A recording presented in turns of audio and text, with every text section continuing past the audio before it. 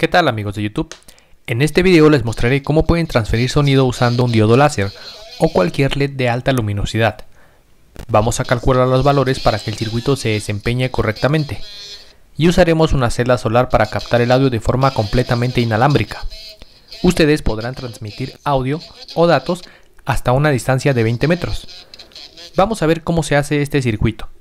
Antes de continuar con el video, no olviden suscribirse a mi canal amigos, activen la campanita de notificaciones para que estén pendientes de más contenido. Bueno amigos, les presento una lista de materiales. Utilizaremos una pequeña celda fotovoltaica, como pueden ver. Obviamente un diodo láser. También como prueba un diodo LED de alta luminosidad, de preferencia blanco o rojo. Un capacitor electrolítico de 4.7 microfarad desde 25 volts. Otro capacitor electrolítico de 100 microfaradios a 25 volts un transistor NPN, en mi caso utilicé el 2N2222A. Dos resistores con un valor de 1 kΩ. Dos resistores de 22 ohms. Dos resistores de 100 ohms. Un potenciómetro de precisión con un valor de 1 kΩ. Y por último, un pequeño altavoz. Primero diseñaremos nuestro amplificador por divisor de tensión para el diodo láser. Les comparto el diagrama esquemático del circuito. Póngale pausa al video para analizarlo más a detalle. Primero les hablaré de los diodos láser y sus propiedades.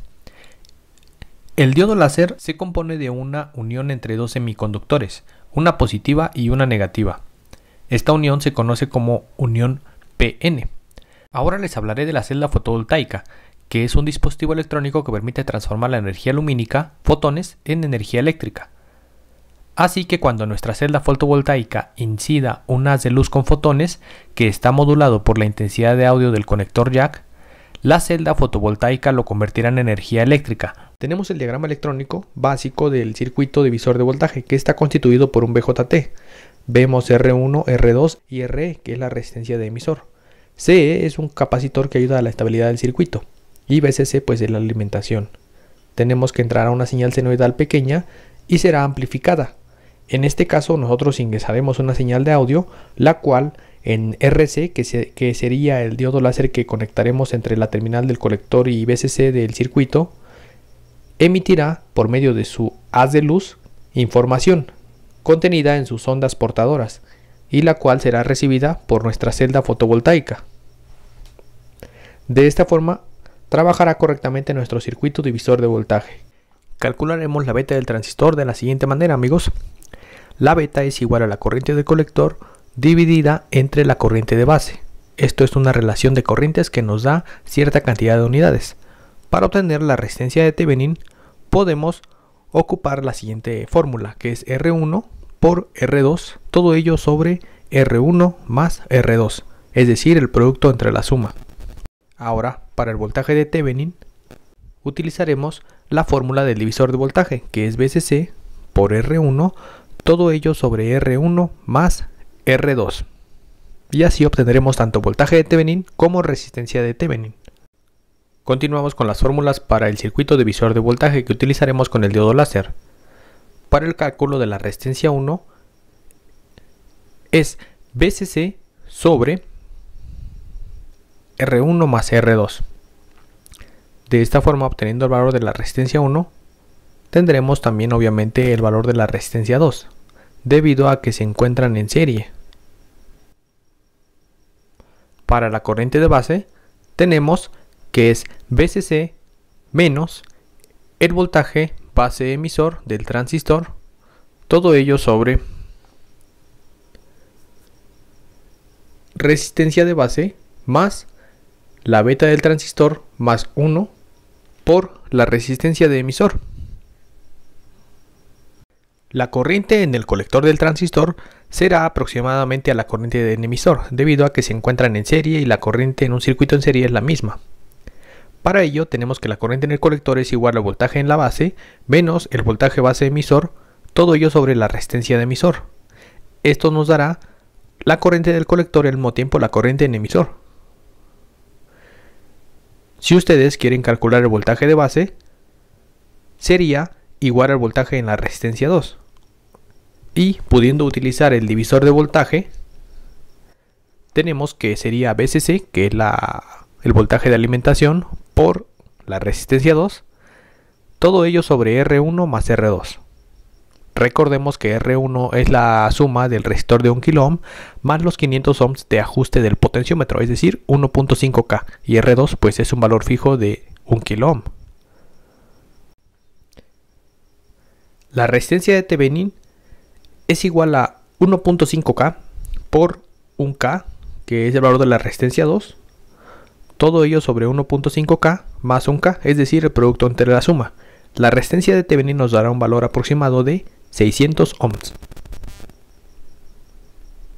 El voltaje de Thevenin, utilizando la fórmula del divisor de voltaje, que sería VCC, que son 5 volts, por el valor del resistor 1, que es 1.5 kilo ohms, todo ello sobre 1.5 kilo ohms, que es R1, más R2, que es de 1 kilo ohm. Entonces el voltaje de Thevenin aproximadamente nos dará 3 volts.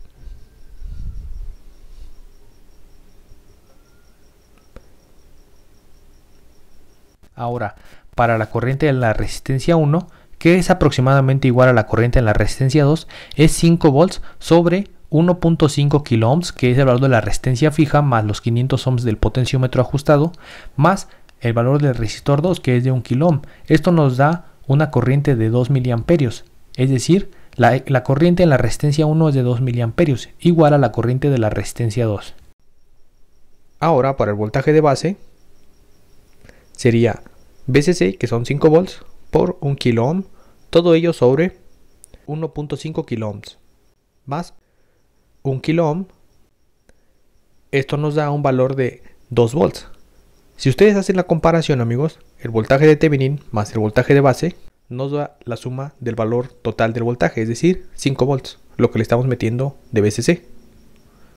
Para la corriente del colector, amigos, tenemos que sería 2 volts menos 0.7 volts, que es el voltaje base emisor. Recuerden que es un valor fijo para transistores de silicio como el 2N2222A. Todo ello sobre la resistencia de emisor que es un valor de 50 ohms para que nos dé una corriente de colector de 26 mA. Corriente de base por ley de Ohm es igual al voltaje de base sobre la resistencia de base. Haciendo los cálculos y sustituyendo valores, tenemos que es de 1.33 mA, que más adelante utilizaremos para obtener la beta del transistor. Ahora, para obtener la beta del transistor nos dará una beta de 19.54. Para saber el voltaje que existe entre el colector y emisor del 2N2222A, o sea, entre los pines 1 y 3, tenemos la siguiente ecuación, que sustituyendo valores es de 0.49 volts aproximadamente. Aquí podemos ver una pequeña gráfica de las curvas del transistor y saber su punto Q de operación adecuado, que es IC sobre 2 para ICQ y BCE sobre 2 para BCEQ. Entonces ICQ valdrá 13 mA y BCEQ será de 0.245 volts. Muy bien amigos, ya el circuito en la protobart. Como pueden ver ahí está el transistor, la resistencia 1, la resistencia 2, las resistencias que nos van a unificar la señal estéreo, resistencia de emisor, también ahí están conformadas por esas dos resistencias de 100 ohms y el diodo láser que estamos estrenando. Como pueden ver va conectado una parte al colector y el otro extremo a BCC como se mostró en el diagrama. Perfecto, ya tenemos el circuito conectado a la alimentación, vamos a medir. Aproximadamente nos da 4.8 volts la fuente. Nosotros requeríamos 5 según los cálculos, pero es muy aproximado mediremos el voltaje en la resistencia 1 que está conformada por la de 1K y el potenciómetro, el voltaje en la resistencia 2, el voltaje que se encuentra en la resistencia de emisor, voltaje colector emisor, el voltaje en el colector, que es donde está funcionando el diodo láser. Finalizado de armar el circuito y como pueden ver, ya está alimentado tanto el circuito transmisor como el receptor. En la celda solar para amplificar la señal conecté un amplificador de audio LM386 que había hecho en otro video anteriormente. Amigos, hasta aquí el video de hoy. Ya saben que se pueden suscribir si aún no lo han hecho. Piquen en la campanita para que les lleguen todas las notificaciones y nos vemos en un próximo video. Chao.